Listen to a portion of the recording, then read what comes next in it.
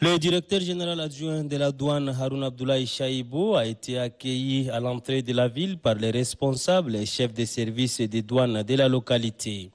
Aussitôt arrivé, le directeur général adjoint de la douane a fait cap sur la direction des douanes de Tini.